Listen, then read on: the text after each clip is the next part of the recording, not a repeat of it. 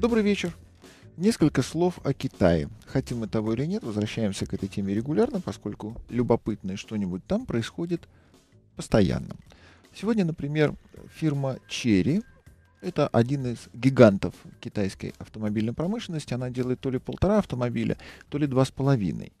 Сейчас чуть позже о статистических особенностях Китая. Так вот, с сегодняшнего дня Черри позволила себе шикарного дизайнера. Они перекупили бывшего работника Porsche, очень любопытного человека. Он э, дизайнер, будучи немцем, тем не менее турецкого происхождения. Это к о том, что э, все люди э, рождаются талантливыми. Вопрос погружения в среду. В германской среде этот человек расцвел очень неплохим по результатам успехом и работам своим производственным потенциалом, стрельнул «Будь здоров как» и работал сначала на Форде и делал, например, Mondeo и Chery, потом ушел на Порше, делал Boxster и Cayman, и в том числе 918-го Spyder а, очень симпатичную машинку, а, Хакан Сарачоглу. Теперь он будет работать на Chery. Любопытно здесь то, что Chery на самом деле а, среагировала больше не на то, талантлив этот человек или нет. Особенно посмотреть, если по тому, как выглядит Porsche, серьезная дизайнерская работа, очень большая проблема сделать машину похожую одну на другую. Вот эти вот нюансы, они ведь, как правило, со стороны не очень видны, и между Мандео, например, и Фокусом э, действительно разница есть, а вот Porsche, который пролетел мимо тебя, ну, правда, он еще и быстро летает. Он не дает иногда времени разглядеть особенности.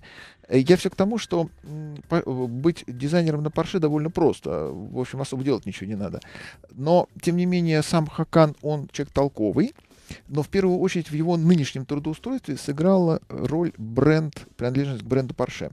Китайцам очень льстит, что у них теперь будет работать очередной бледнолицей, у которого в бэкграунде такое совершенно замечательное э, творческое, успешное существование в одной из лучших немецких фирм, а по большому счету, возможно, в самой лучшей автомобильной фирме мира. Черри гигант. Черри делает очень много, у них несколько заводов. И когда вот смотришь китайскую статистику или, например, просто какие-то биографические данные китайских производителей, они все крупнейшие. В Китае нет ни одного мелкого производителя. Там любая фирма — это гигант. Она делает все. Она делает годами. Она чрезвычайно успешна. А реально э, две с половиной машины, один автобус, э, половинка какого-то прицепа и еще пара велосипедов. Когда китайцы начинают обобщать результаты своего труда и рассказывают о том, что они сделали 8,5, 9,5, а потом 15,5 миллионов автомобилей, они считают подъемные краны, бетономешалки, роликовые коньки, и понять, что у них происходит на самом деле, не сможет никто и никогда. А иностранцы не допущены к статистике, к аудиту, и истина китайская сокрыта под мраком всегда. И вот этот мощнейший индустриальный гигант будет теперь хвастаться наличием еще одного дизайнера. Черри до этого работала с итальянцами. В Италии много ателье дизайнерских, талантливые ребята там, они помогают и серьезным игрокам, они с большим удовольствием работают, в том числе и на китайцев. Китайцам этого мало, потому что одно дело Итал Дизайн Пининфарина, другое дело парень, пришедший из Порше. Черри, например, не так давно завела себе люксовый бренд Корус, позвала туда человека, который до этого работал на Мини. Мини это тоже очень интересный дизайнерский продукт. Попробуй отличить один мини от другого. Когда специалисты говорят, что их уже 8 моделей, а в ближайшее время количество мини разрастется до семьи из 16 моделей, слушайте, давайте поищем отличия. С точки зрения обывателя, опять-таки, и на мини дизайнеру делать нечего. Одно и то же можешь рисовать, а маркетологи тебе потом придумывают обоснование, чем одно отличается от другого. На самом деле ничем. Мини спереди тем более, что обманка мини в том, что это грандиозный автомобиль. Он здоровенный, он огромный, он еще немножко будет размером с грузовик. Он называется он мини. Вот несколько слов все-таки о Китае. А почему так происходит? Китайцы ведь э, создали себе автомобильную промышленность. Они ее создали по лекалам, предложенным Советским Союзом. Они закупают иностранцев, они платят колоссальные деньги больше, чем в 4-5 раз этот человек может получить у себя на основном месте работы. Или едут в, едут в Китай с большим интересом, и многим из них обещана перспектива самореализации. Для любого творческого человека это очень важно. Приезжают инженеры, приезжают, например, китайцы, родители которых выехали в Соединенные Штаты, пытались там как-то устроиться, натурализоваться. Ребенок закончил американскую школу, американский колледж, американский университет, работал в американской автомобильной промышленности, потом родина вспомнила о нем и сказала, ну ты, конечно, американец, мы понимаем, у тебя паспорт уже давно американский, не хочешь ли ты на Китай поработать? И, что приятно, к нему относятся не как к китайцу, к нему относятся как к патриотично настроенному американскому специалисту, что сказывается на зарплате. Он приезжает к себе в Китай, которого, может быть, даже никогда в жизни и не видел, несмотря на то, что этнически он китаец, и он получает зарплату американца. И вот эти все специалисты, дизайнеры, инженеры, конструкторы, они возвращаются в Китай, они работают в Китае, они закупаются Китаем, они арендуются Китаем, а результата нету никакого. Вот эти люди, э, воспитанные другой системой, реализовавшиеся в иной системе, они приезжают в Китай и работают в рамках той системы, которая на сегодняшний день себя является большим серьезным явлением под названием Китай, и результат их труда пшик. Это сама система виновата. Или это коллеги по цеху не хотят учиться. Или это китайское такое эгоцентричное самолюбование историческим периодом цивилизации в 5000 лет. Китайцы ведь себе насчитали цивилизацию, времени которой 5000 лет. Христианская цивилизация скромнее, ей меньше. Европейская цивилизация тоже не намного больше. Китаю 5000 лет, они древнейшие люди на Земле. И вот эти древнейшие люди, они покупают чужие мозги, и получается не лицо промышленности, не лицо индустрии. Ведь автопром — это одна из визитных карточек индустрии. У китайцев на сегодняшний день вместо визитной карточки получилась обложка журнала «Крокодил» такая социалистически э, сатирическая обложка. И специалисты все вместе, попавшие в непитательную среду Китая, тем не менее не могут произвести тот товар, на который все рассчитывали. Недавно э, одна американская аналитическая компания э, Сенфорд Бернстайн всерьез занялась изучением положения дел на данном этапе в Китае, и они сделали несколько выводов, на мой взгляд, на всю политкорректность несмотря, очень точно определивших нынешнее положение Китая. Во-первых, они сказали, что выгода от привлечения в Китай западных специалистов, в общем-то, сводится на нет. Во-первых, из-за медленного развития страны Китай и из-за отсутствия ориентации на высокий результат. Вот китайцы нам постоянно говорят, и мы сами про китайцев говорим о том, что они семимильными шагами развиваются, о том, что у них индустриализация, пришли западные технологии, посмотрите, какие шикарные айфоны они делают. Ну, пока надзиратель с дубиной стоит. Как только надзиратель отвернулся, приходят американцы из э, Сент-Форд-Берстайна и говорят, у них ничего не получается из-за отсутствия ориентации на высокий результат. Это абсолютно верно. Это вот то, о чем я говорю безо всяких американцев. Китаец в среднем не заинтересован в том, чтобы вкалывать на производстве, где он является наемным работником. У него нет мотивации к самосовершенствованию, к улучшению и повышению своей квалификации. Он пытается заработать троечок для того, чтобы открыть собственную лавочку в родной деревне. По барабану ему вся эта индустриализация. Американцы э, копнули дальше. Они сказали, что в принципе китайцы ребята упорные, поэтому вкладывать средства в развитие они будут до последнего. И на сегодняшний день, наверное, вот из того исторического периода, э, если сравнивать с остальными аналогичными порывами других стран, китайцы 80% пути в автопроме уже одолели, осталось 20%. Но это самые серьезные 20%, потому что обложку более-менее постигать начали. Дизайнеров иностранных привлекли. А вот сути, сути не постигли. И, во-первых, потому что на неокр они не больше 2% тратят.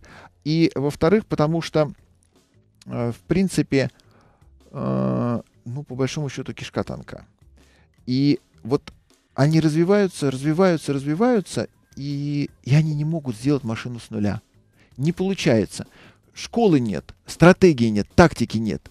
А на самом деле автомобильной промышленности у китайцев – в том понимании, в котором она существует в Германии, в Америке, в Японии, в Корее. У китайцев ее нет. И американцы из э, Сент-Форд-Берстайна, они констатируют, что в настоящее время китайский автопром не способен разработать автомобиль с нуля, а отсутствие терпения, кстати, у китайцев отсутствие терпения, и я с американцами полностью согласен, и стремление наравне конкурировать со всеми остальными серьезными игроками значительно усложняет их положение. То есть амбиции есть, Амбиции серии, да мы китайцы, да нам 5000 лет, да у нас тут автомобили, да мы сейчас тут все сейчас сделаем. Амбиции, да, действительно. А работать никто не хочет. И вот подтверждение тому, когда в восьмом, в девятом, в десятом году по э, китайскому производству, по китайскому автопрому, филиальному, не, не те, которые э, Хонгши или э, эти самые, как они, э, Хай Гитлер у них была фирма, э, моя любимая, замечательная, а Зикхай она называлась, э, Ксингхай. Вот на этих, на Ксингхае, неважно, кто работает, но когда на Хонде, на Ниссане и на Тойоте, на китайских сборочных производствах э, возник трудовой конфликт и рабочие поставили ультиматум администрации, штрейкбрехеров-то не нашлось. Не смогли найти штрейкбрехеров, чтобы выкинуть китайских рабочих в стране, в которой полтора миллиарда человек, нанять других, а потому что их нету. Потому что дрессированных специалистов не найти. И американцы констатируют, что да, в ближайшие 10 лет китайцы, конечно, дорастут до того, чтобы начинать создавать собственные автомобили. Исторический период у них небольшой. Они начали ведь э, благодаря Дэн Сяопину всего-то 20 лет тому назад. Но в действительности все выглядит иначе, чем на самом деле. Перерыв на новости. Так вот, э, финальная фраза про Китай. Сколько иностранцев не закупай, сколько денег не вкладывай, система государственного устройства Китая не позволяет им всерьез позволить себе настоящую автомобильную промышленность. Сборочное производство из-под палки, да, и BMW, Mercedes, и Volvo с надзирателями и с концлагерными приемами ведения хозяйства в Китае будут успешны, и эти машины будут получаться, а вот непосредственно собственное китайское автомобильное производство нет. Вот этого в ближайшие десятилетия еще не будет, потому что для этого должна измениться государственная система. Э, телефон 65 10 996 Э, на связи у нас Роман. Здравствуйте, Роман. Э, добрый вечер. Здрасте. Э, Роман, Москва. Значит, у меня дед работал в Китае. О, он помогал становлению китайского автопрома в том числе. А, ну, в принципе, китайский автопром это уже э, третий, третий сорт. Он э, помогал становлению китайского МВД при Мао Цзэдуне. Увлекательная работа, да. А, да, очень вполне. Он, значит, на протяжении 10 лет работал. И, в принципе, он сказал, что э, э, при всем при том, что 5000 лет действительно история, при, при всем э, трудолюбии, при всем э, вот этих вот совершенно фантастических панно из э, зубов рыб, да, э, ну, знаете, вот эти панно. Да, много там трудолюбивых да, подвигов. А, да, да, да, да, вот. Э, на протяжении всех пяти тысяч лет в Китае абсолютно дрянной металл. Например. Да. Э, э, я, я, я не мог, говорит, этого объяснить. Металл дрянь. Был, есть, и, говорит, по всей видимости, будет. Вот. И, и здесь даже вопрос не в системе, и вопрос не в каких-то там за, заинтересованностях, это совершенно э, другой какой-то подход у людей, в принципе, к жизни, да. Ну и абсолютно классический пример он приводил э, с порохом, конечно же, что э, китайцы создали порох, но, э, сказ, значит, сказал, естественно, не додумались его применять э, чтобы убивать человека, да, вот, а европейцы додумались. Э, и дед говорил, так сказать, э, что лучше, вообще-то, говорит, неизвестно. Может быть, так бы его и применять, как фейерверк, да? Вот. Но европейцы вот как-то модернизировали и начали дырявить своего ближнего. Что лучше, неизвестно, да? Ну, а китайцы, кстати, они про прослыли большими специалистами по а, таким мероприятиям, которые в гестапо, например, даже не снились. А, да, да, плюс, значит, э, рассказал совершенно фантастическую вещь. А, во время э, гражданской войны, когда туда выкатилась вся, значит, наша а, вот эта вот армия в Манчжурию, вместе с ними выкатил, выкатились туда и цыгане. Вот. И э, э, значит, ну, военные пошли на военную службу, инженеры на инженеров пошли. Э, русские, а в ней, вместе с ними были цыгане, которые начали заниматься примерно тем, тем же самым, чем они занимаются и везде, да? Ну, да? Вот. А китайцы, говорит, посмотрели недели две на все это дело, да, и говорит, «Э, Рома, не веришь, они начали их забивать а, и скармливать своим чушкам. Вот. А, свиньям, свиньям. Да, порох был бы, наверное, гуманнее в этой связи. А вот вы знаете, вот как-то, я не знаю, кстати, вот если э, философски подойти, я не знаю, э, забили всего несколько десятков цыган, да, а порохом сколько продырявлено. Тут очень сложный вопрос, и я не думаю, что государственная система здесь как-то влияет. Ну, государственная система в данном случае в отношении цыган не влияет, скорее менталитет, а с точки зрения промышленности вот эти все усилия привели к тому, что китайцам э, фирма Siemens может позволить построить себе, например, на магнитной подушке поезд, а сами китайцы не могут построить этот поезд, при том, что а, китайцы круче немцев в несколько раз. А, да, совершенно. Я, я с чего начал? С металла. То есть за пять тысяч лет ребята не научились делать элементарных гвоздей. То есть вот эти вот ножи, которые сейчас заполонили, значит, наш рынок, да, а, они, в принципе, ничего. Но металл дрянь был, есть и будет. Это вот человек сказал, который проработал, в общем-то, на высшем уровне в Китае там, в течение дес- десятка лет. Тем более, что в МВД тоже есть применение разным металлам, и, видимо, все-таки... А тем более, конечно, конечно. конечно. После НКВД... У него нет После НКВД, где металл был хороший, и наручники держали, и а, дыба а, ну, не тогда, обрывалась. А, тогда, тогда это не НКВД уже называлось, а МГБ. Да. Вот, э, да, и, э, значит, э, это уже несколько разные были подразделения, вот, МВД и, э, значит, это, ну, не будем углубляться, но с металлом, да, с металлом, в металле дед понимал, он был криминалистом. Как вы думаете, они автомобиль когда-нибудь смастерят нормальный на европейском уровне? Сами? Я, я думаю, нет. Я, я думаю, нет. Вот чисто э, китайский автомобиль, это, э, ну, я, я начал с металла. Ну, в конце концов, вы знаете, мы тоже наши автомобили делали всю жизнь из чужого металла. АвтоВАЗ пользовался привозным прокатом, поскольку наша страна, могучая индустриальная, не в состоянии была придумать металл, подходящий для «Жигулей». А, для «Жигулей», да, а для космоса а, запросто, для военного блока. Для самолета запросто. запросто. А, титановую а, подводную да, лодку, да, мы сделали. Да, да, да, да, да, с, то есть э, свой металл мы могли. Ну, не знаю, не знаю. В общем, автомобиль это, э, я думаю, что нет. Ну и нас с вами, Роман, как-то не очень огорчает то, что, например, у китайцев не, не совсем получается подходящий под нас автомобиль. Мы печалимся за Китай, но вот за себя в данном случае я, например, не очень печалюсь. Сергей, здравствуйте, Сергей. Алло, здравствуйте. Здрасте. Абсолютно не согласен с, том, э, с тем, что вы сейчас говорили.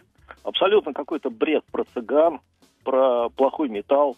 Э, совершенно непонятно, почему идет такой негатив на Китай. Ну, давайте вот, рас... расскажите, как Китай выглядит я, на самом деле. Я вот сейчас сижу э, и разговариваю с вами в китайском автомобиле, который у меня уже пять лет. Какой у вас автомобиль? Черри. Так, что за черри у вас? Какая модель? В нашей стране эта модель называется Фора. Так, есть такое. В других странах она называется по-другому. Угу. Эта модель была запрещена нашим э, при производстве в Калининграде нашим э, министерством развития только потому, что она конкурировала активно с Жигулями. Так. По цене. Но по качеству это С-класс угу. получается. Вот до этого у меня была машина Nissan Maxima, тоже, может быть, вам известна. Ну, случайно видел пару раз. Но она была да. хуже, чем Фора, я догадываюсь. Нет, она не была хуже, она была примерно того же уровня и качества. Как фора? Да. Замечательно. А я надеюсь, у вас все-таки еще китайский термос дома есть, э, который действительно абсолютно нету, не превзойдет? Нету, абсолютно да. нету. У меня э, дома китайские ноутбуки. И, кстати, компания Apple э, производит всю продукцию в Китае. Я потрясен этим знанием. Так, что да. еще? А еще хочу сказать, что нельзя вот так вот огульно говорить, что китайцы не создадут, не сделают. Все-таки они сделали. И нашему автопрому очень далеко до этих автомобилей. А вы сравниваете Согласен. только с нашим или с мировым? Или есть две а... страны на свете, мы и Китай? Нет, я, я, я понимаю, вам... что ваш, ваш фора лучше, чем Максима. Что, я вам только что сравнил с Японией. Нет, э, в Максиме была одна вещь лучше. Там был круиз-контроль. Понятно. А еще... Здесь единственное, что, чего не хватает. Но по надежности, вот смотрите, говорят, вы купили китайца, вы купили ерунду. Угу. А, вот а обычно у нас в прессе, везде, вот на форумах там, ну, такой вот Сер... существует. Сергей, понятие, кстати, да? я могу, могу я сказать, что вы купили ерунду. ерунду. 5... Да. Да. Вы купили лет ее? назад. Мгм. Я проехал 100 тысяч. У меня нет никаких проблем э, технических с автомобилем. Нет никаких других проблем. Так почему тогда это получается ерунда? Вот вы мне объясните. У вас, э, я надеюсь, ДТП не было никаких, вы ни разу не мяли? Нет, нет, нет, не было. не- Почем у вас ТО одно обходится? А, то я делаю сам, а оно обходится у меня очень дешево, именно потому что я делаю сам. Понятно. А Если бы я делал э, в авторизованном сервисе, да, я с вами согласен, это ТО обойдется дороже, чем на немца. Где вы берете комплектующие, где вы берете запчасти для ТО? Там колодки, фильтра? Да, колодки, фильтра, вот с вами полностью согласен, тема очень интересная. Потому что на российском рынке существует очень много корейских подделок, которые низкого качества, которые люди ставят, в результате начинается обрыв ремней ГРМ и прочее, прочее. Корейских подделок? И именно корейских подделок под китайские машины. Мгм. Так, это тоже интересно. Вот. э, Дело в том, что недавно было очень большое судебное разбирательство с Тагазом, который тоже произво- производит эту фору под э, кодом э, Истина. Мгм. Есть такая штука. Вот. И проблема и основные претензии корейцев были в том, что Тагаз начал производить китайские автомобили. Э, Давайте не про Тагаз, давайте про китайскую машину. Итого, откуда вы берете комплектующие, фильтра, колодки? Это все нужно искать по рынкам. Это очень сложно найти, чтобы были качественные ремни, качественные комплектующие, потому что... Потому что ну, китайские качественные, а корейские нет. Это я понял. А что-нибудь нет, у вас, не потому э, что, потому Сергей? что очень много подделок. Э, Сергей, Дело в том, что алло. у меня...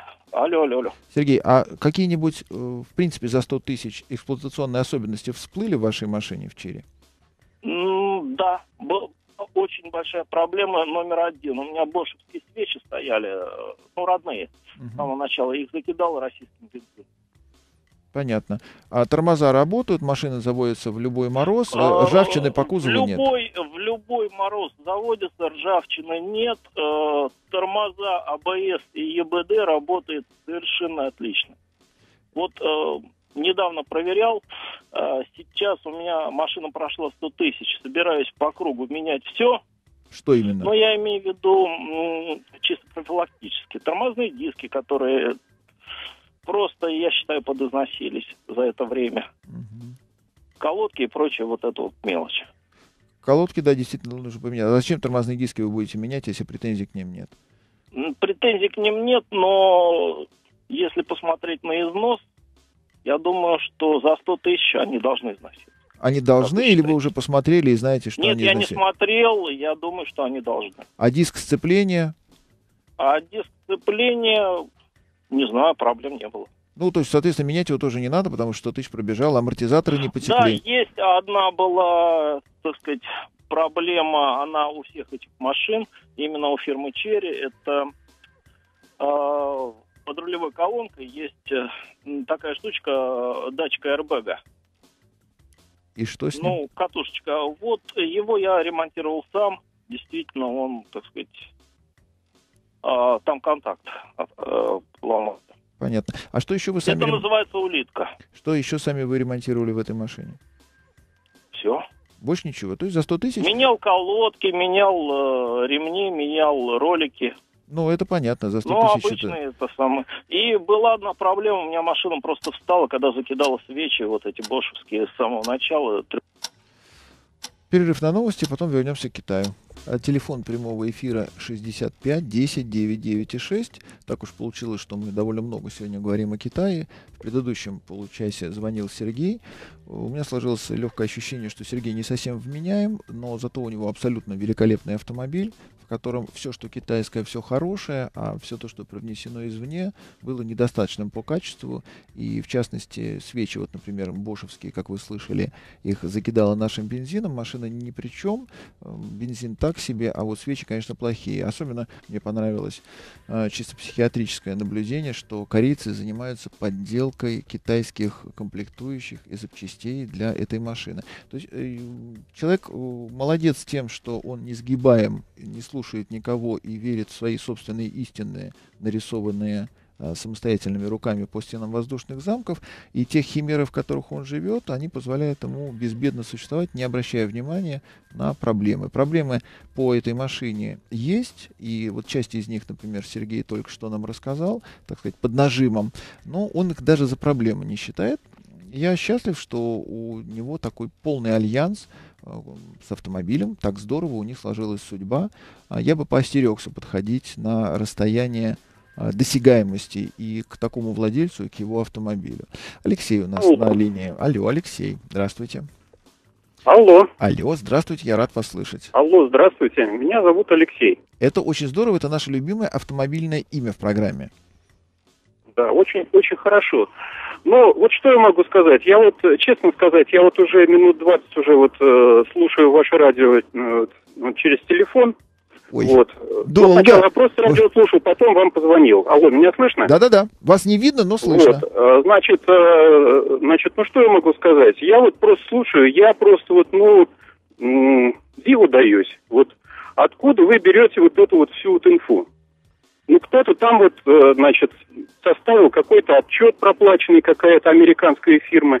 Вот, кто-то там, у кого-то дед там где-то когда-то работал, видимо, еще при Советском Союзе там вот. Но я вот просто не знаю. Вот. Расскажите я, свою значит, версию, вот, Алексей, расскажите свою рассказываю, версию. Рассказываю, Я вот, э, значит, вот что я могу сказать про Китай. Вот, я сам работаю в китайской фирме, очень крупной. Вот. А, значит, работаю уже лет 15. Вот. Э, часто очень бываю в Китае, вижу там все те процессы, которые там происходят.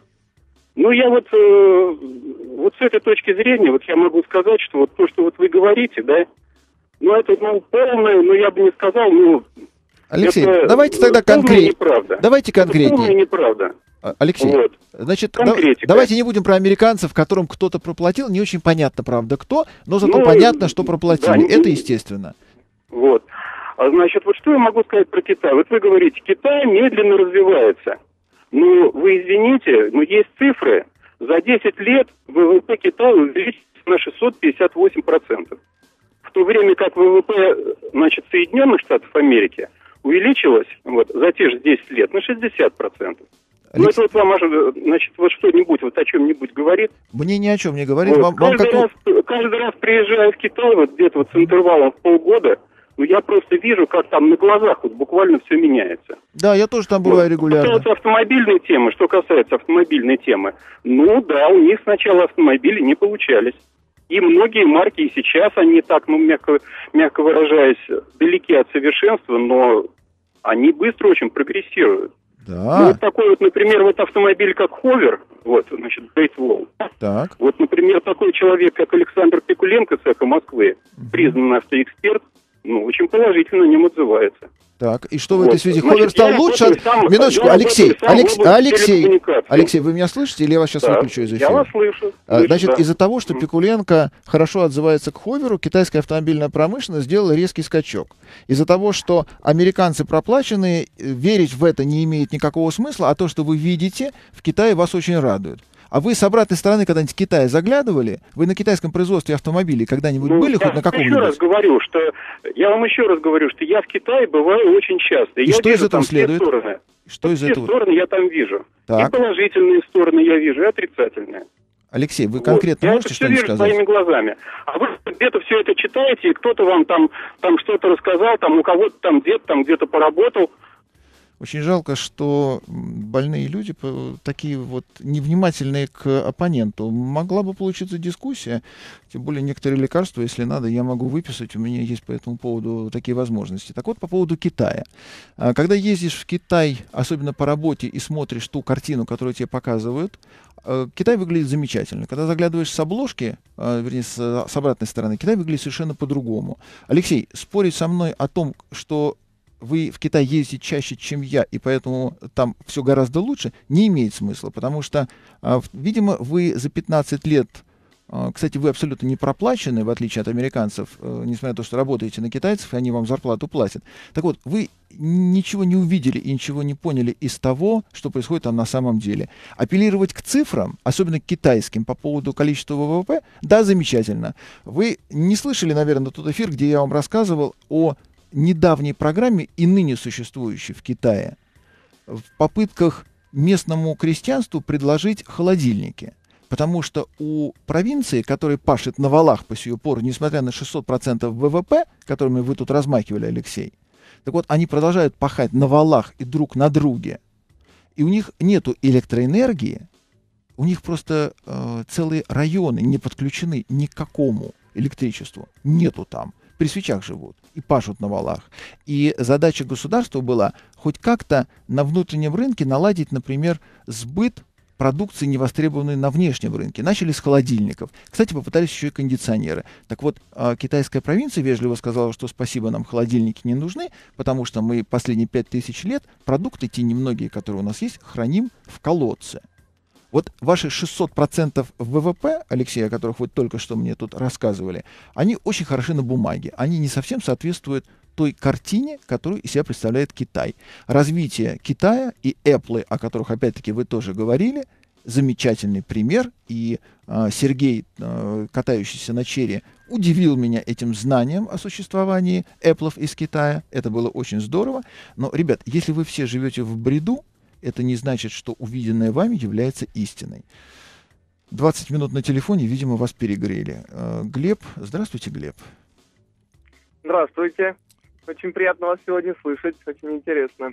Да, а, я сам увлечен. Говоря, в китайских автомобилях мало что в У меня вот вопрос насчет немецкого автопрома скорее, а, или, может быть, такого мирового. Какой можете посоветовать джип, ну, там, скажем, до полутора миллионов, дизельный, чтобы он был хороший для путешествий и для дальних поездок, и при этом удобен в городе. Глеб, а что значит путешествия и дальние поездки? Они ведь бывают разные. Можно по такому бездорожью, например, что никакие колеса не помогут, и нужно на гусеницах.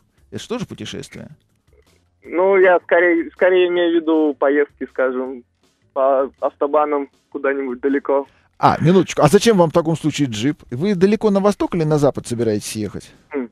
Ну, не знаю, просто мой опыт водительский проживания в Москве свидетельствует о том, что, по крайней мере, в нашей стране джипов как нужны. И... Да, у нас страна полного привода. Глеб, за полтора миллиона вы скорее всего, купите себе кроссовер. Если вы хотите серьезного бездорожья, вам нужна машина, которая по стоимости чуть-чуть дороже, чуть-чуть больше. Например, mm-hmm. Mitsubishi Pajero Sport. На ней можно ехать и в городе, на ней можно ехать за городом. Если у нее есть блокировка заднего дифференциала принудительная, это позволит вам даже аж до колхоза доехать. Если вы хотите по автобану, то вам нужна длинная машина. Плавность хода напрямую коррелируется с длиной автомобиля. Чем длиннее машина, тем плавнее ход. То есть на маленькой mm-hmm. машинке скакать блохой, например, до Украины или через Белоруссию до Европы, это, наверное, было бы неправильно, а на большой длинной вальяжной вы путешественник. Но в таком случае эта длинная машина тоже выходит за полтора миллиона. И mm-hmm. дальше вы упираетесь в отметку 2 миллиона и покупаете себе, наконец, длинную, большую, полноприводную для того, чтобы поехать в Европу и там всех перепугать. Они такого там не видели. И поехать к нам в Азию. И уже выехать, э, вернуться, э, пожить в Москве, написать в блоге много интересного, выдохнуть и сказать, ой, какое было классное путешествие. Мечты, мечты. Да, Глеб, вы абсолютно правильно почувствовали весну. Вот сегодня замечательное небо в Москве, вчера было замечательное небо в Москве. После этого очень приятно мечтать о путешествиях. Машина путешественника начинается с полутора миллионов. Она не заканчивается этим рубежом, и машина для путешественника номер один, наверное, если это не пикап, а с универсальным кузовом Pajero Sport, а дальше эскалация ценников – увеличение размеров и полноприводности этих автомобилей, в том числе и какой-нибудь э, Mercedes GL. А вот, скажем, Туарек, но он уже выходит в следующую ценовую категорию, но вот, скажем, его эксплуатация не обойдется ли она слишком дорого, скажем, на дальней дороге на той же? Если без поломок, то нет, потому что в дальней дороге вся эксплуатация сводится только к потреблению топлива. Туарек машина замечательная, она универсальная, она позволяет вам в том числе встать на цыпочки и, приподнявшись над действительностью, забраться куда-то вглубь. Она очень хороша на автобане, она замечательна в городе, не зря так много mm-hmm. их в Москве. Но Туарек, он начинается с миллион девятьсот. А если вы идете на вторичный рынок, то на вторичном рынке вам подсунут какой-нибудь неликвид. Ну, просто потому что mm-hmm. хорошее на вторичном рынке не бывает, а плохое как раз ждет своего Глеба. Вы будете обмануты жестоко за свои деньги. Ну, да. Вот насчет автобанов, ну, если позволите, немного сменю тему. А, просто вот имел опыт езды в Европе, продолжительно ездил на Opel Insignia. Машина, кстати, просто великолепная. И... В Европе даже Жигуль молодцом, а уж Инсигния, она великолепна и у нас, и у там, и в Европе, у немцев, да, согласен. Да, вот как раз он длинный, низкий, очень подходит именно для автобанов. Подходит? Ну, и мне, мне, мне кажется, ну вот, может быть, если еще вернуться к теме китайского автопрома, то что, вот, скажем, та разница между дорогами у нас и в Европе, вот, ну, точно такая же разница есть и вот, э, вот э, в, в дорожном строительстве. Это, наверное, в головах в первую очередь. Потому китайцы... что приехав сюда, я понял, что это какой-то клуб самоубийц на самом деле. Да, да. Но китайцы хотя бы дороги действительно строят, э, ну, нельзя сказать, что совсем шикарно, но они молодцы. И в Китае все-таки за ряд экономических преступлений существует смертная казнь. Это несколько стимулирует к осмотрительности в действиях. Там, финансовые потоки не так пилят. И дороги они кладут глубоко всерьез и надолго. И в этом отношении они молодцы. Но, опять-таки, как только надсмотрщик отвернулся, тут же напортачат, к сожалению. Угу. Вот, а машина для путешествий, вот мне тоже третий день подряд очень хочется какую-нибудь машину для путешествий. Леонид.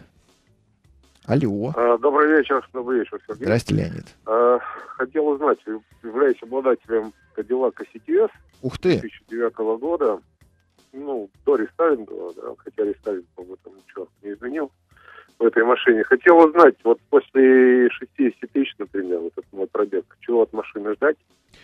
Скажите, Леонид, а вот эти 60 тысяч, как вы прожили в нашей сервисной системе, когда далеко не все запчасти Ой, Сергей, это отдельная история, как бы к машине, скажем так, больших вопросов нет, ездит она нормально, но у нее есть там проблема с ручками, что-то слышали об этом, да, такая смешная, но вообще уже не смешно.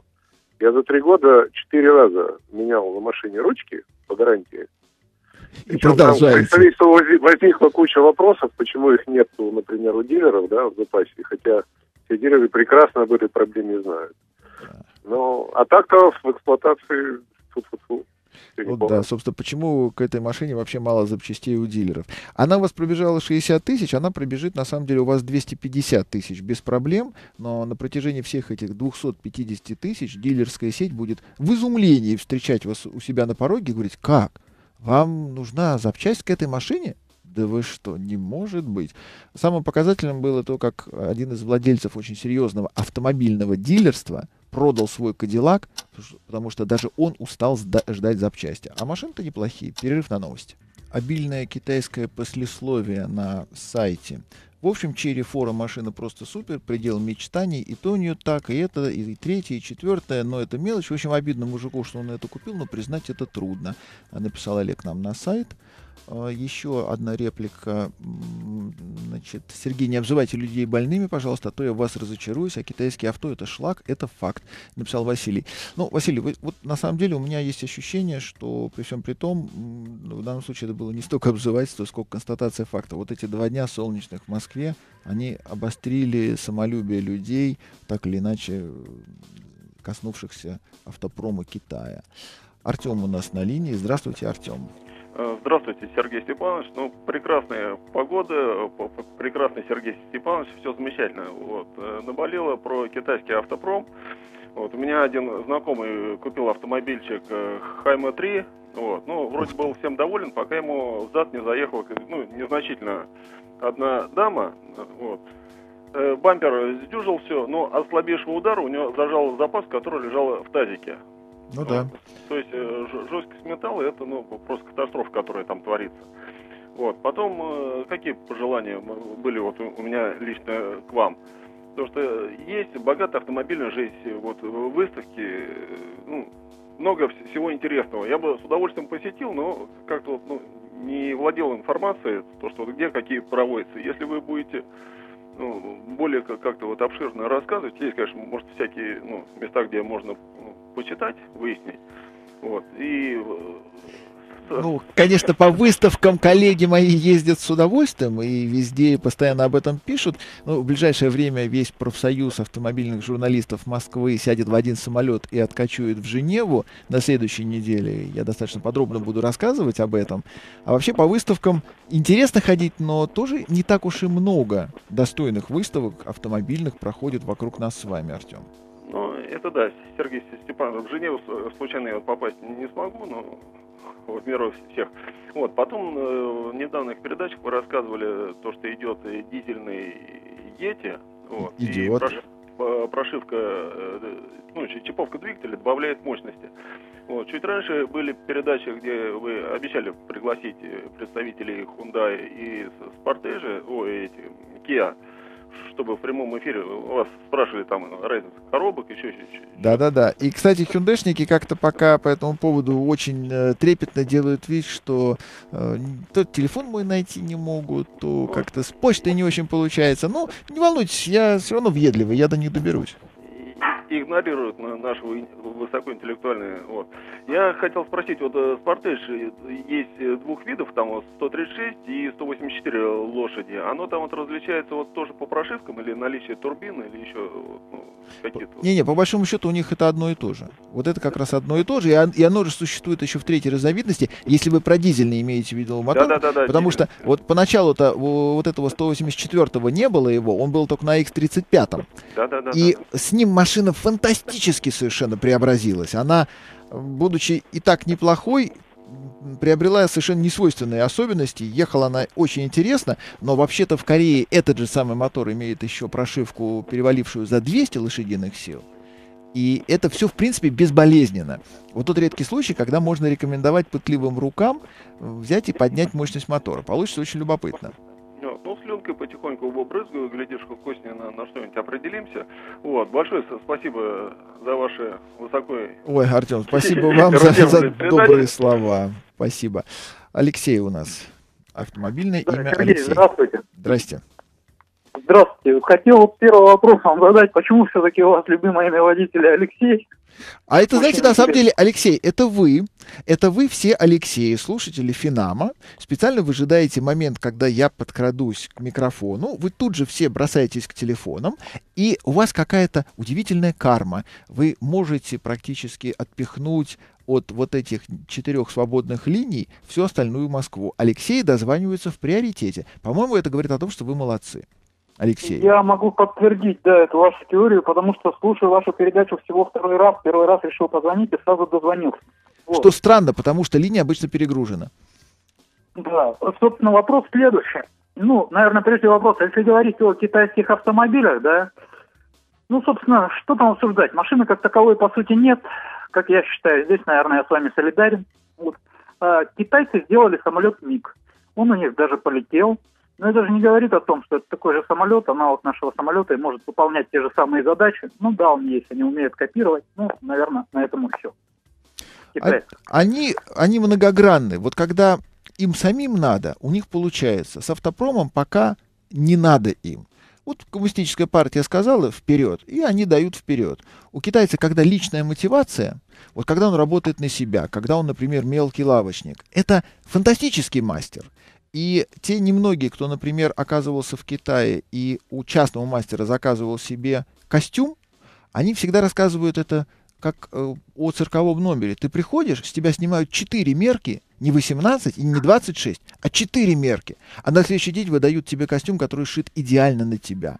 Но это мастер, и он действительно мастер, и он фантастический профессионал. Он работает потрясающе, он делает быстро и действительно качественно но он работает на себя. Когда он встает у станка, ему нужен надсмотрщик с дубиной, а желательно с электрошокером. Тогда будет Apple, а как только отвернется, тогда будет э, BBK. Здесь я с вами абсолютно согласен. А вот э, услышать ваше мнение я хотел о японских автомобилях. Даже об одном автомобиле, в частности, это Nissan Tiana. Вот именно питерской сборки, которую собирают у нас. Вот если убрать негатив, да, который связан именно с питерской сборкой, с российской. Э, что бы вы могли сказать об этом автомобиле? Алексей, если бы у них был кузов универсал, я бы купил себе Тиану питерской сборки с кузовом универсал, да еще полноприводную. Но, к сожалению, такой машины не существует. Мне понравилось, как работает завод. Я был на этом заводе, я посмотрел на людей, которые стоят на конвейере, я пообщался с ними. Там, конечно, тоже очень много лукавства есть. Но в целом, при том, я что... Я читал вашу статью, да, об этом. Вот мне, мне там понравилось, правда, таджики, которые там бродили, и ниссановцы, которые говорили, какие таджики? Да ну что вы, да это не наши. Да, нету таких, да, они другого цвета, и вообще они не наши. Но э, Тида, как вы знаете, Тиана, как вы знаете, она ржавеет, что японская, что ржавеет наша российская. И что по поводу японской они делают круглые глаза и говорят, да не, ну что вы, нет, конечно, да это вы, это вы такой плохой, а металл-то у нас хороший. Ниссаны всегда по всему миру гниют. И Nissan Patrol гниет, и все остальное. Но Тиана очень правильный автомобиль. Мне нравится то, как она задумана. У меня к ней есть пара претензий, ну, совершенно несущественных, скорее, моих личных. И мне очень понравилось то, как они ее реализовали на полном приводе. Полный привод работает тактично, очень своевременно, с молниеносным подключением того, чего надо. Вот я там специально вышел на песчаные грунты, покидал машину в занос, посмотрел, как у нее срабатывает система полного привода. Очень хорошо, очень корректно, причем предсказуемо, что здорово, не было э, непонятно, когда входишь в поворот или в какой-нибудь там занос на переднем приводе, а потом оно у тебя становится резко заднеприводный. То есть само по себе изделие Тиана достойно всяческого уважения, и в нашей стране она все время э, так вот оттенена Камри, потому что Toyota это же настоящее японское качество. Она делается как раз через дорогу от Тианы. А Тиана, ну что там, ну Nissan. Что, что взять с Ниссана? Мне понравилось то, что между этими заводами колючая проволока и рвы, чтобы люди не перебегали друг к другу, чтобы тойотовцы не убегали работать на Nissan, а ниссановцы на Тойоту. Ну да, спасибо, кстати, вам за ответ. Это было решающим, да, в моем выборе. Все-таки я действительно Nissan Tiana именно полный привод как раз и рассматривал. Ну, от ржавчины попробую спастись, наверное, пленкой затянуть, чтобы не было сколов, ну, таким-то таким образом. Ну, пленку надо ну, делать не у дилера, а в специальной фирме, которая сидит на коровьем валу, потому что они эту технологию к нам сюда принесли, и они немногие, кто работает с ней грамотно. А сколько раз я обращал внимание, как делают у дилеров, ну, постоянно, то пузырями, то после первой мойки, то потом все отваливается. К сожалению, просто как-то не хотят они осваивать до конца эту технологию. Ох, Андрей, вот такое вот имя сегодня прорвалось к нам. Андрей, здравствуйте. А, добрый вечер. А, Сергей, скажите, меня вот э, интересует Ford Tourneo Connect. О, хорошая коммерческая машина, вполне себе приемлемая и даже довольно результативная. Вы ее уже вот. купили или только так принюхиваетесь? я как бы, да, только примечиваюсь. А, вопрос такой, там как бы три мотора. Вот меня да. последние два интересуют 90 сил и 115. Там как бы объем один и тот же, но, наверное, чиповка. Они да. меняют, э, я понял, передачные отношения. По коробке, да. А, угу. а что лучше? То есть, ну, по расходу 90, конечно, а вот по преемственности 115 получается, или за счет отношений получается, ну, как бы она просто быстрее ехать будет, а тяга такая, ну... Э, и то, и другое будет ехать достаточно разумно, у них вот этот рубеж 100, 100 лошадиных сил э, решен двумя вариантами. Либо меньше 100, либо больше 100. И то, и другое едет. И то, и другое не гоночное. И то, и другое тянет за счет крутящего момента в расчете на груз, который вы на плечи кладете этой машине. Мы-то с вами же, Андрей, лихие русские ребята, нам же надо, чтобы быстро, а с их-то позиции надо медленно, но надежно. Угу. То есть оно не гоночное. Вы, вы не сможете эту штуку раскочегарить, чтобы она летала. Нет, нет, нет, там дело о гонке, конечно, не идет. А еще такой вопрос, все-таки, ну, про соляру много слышал. Э, да. И все равно, как бы, вы про, э, в любом разговоре про соляру вы говорите все равно, что встрянете. То есть, если ехать на, на дальняк, э, на соляре. Да, да, потому что, ну, нельзя быть застрахованным от топлива низкого качества в нашей стране. Рано или поздно, к сожалению, его хлебнешь. Если хлебнул просто с водой, это одно. А, там с водой еще как-то можно, там, если тем более есть возможность слить или там по зиме, э, там летом, куча разных нюансов. Но мы точно знаем с вами, что не бывает э, равномерного качества в производстве топлива. Потому что в нашей стране топливо — это частная инициатива лиц, допущенных к эксплуатации наших недр. Государство самоустранилось. Оно абсолютно не контролирует этот рынок. Да, нарвемся. А что делать? Не ездить Понятно. на дизелях? Дизеля классные. Если совсем далеко, значит, с собой брать бочки Ясно. Еще по Китаю можно да? два слова? э, как бы, ну, занимаюсь ремонтом машин, частный гараж. Так. А вот, смотрите, приезжает товарищ, это вот, э, как бы, ну, такой пример, э, знакомый, э, Рено сценик у него. А Китай? Приезжает, э, вот, Китай дальше будет. Я ему, э, ну, спрашивает, какую машину выбрать. Э, ну, как бы я с Китаем связывался, я говорю, Китай только не бери. Берет одного китайца, продает и берет другого китайца. Ну что ж так... Почему не верят они доктору, который занимается исцелением этих автомобилей? Вот. Они себя Вот, обманывают... российское. Да, количеством опций. И вы обратили внимание, сколь агрессивны были звонившие в нашу программу защитники Китая? Именно агрессивны, увы. Мое время истекло, до завтра.